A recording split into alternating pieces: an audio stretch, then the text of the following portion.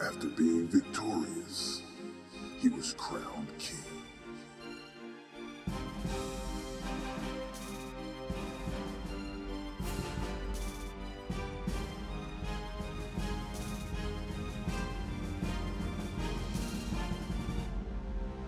And now they rise against him.